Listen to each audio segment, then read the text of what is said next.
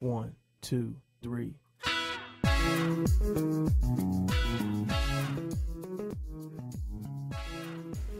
Hyvä ystävä on ähm, rehellinen, tunnollinen, iloinen, auttavainen, että on reilu ja kunnon kaveri eikä petä eikä millään lailla valehtele.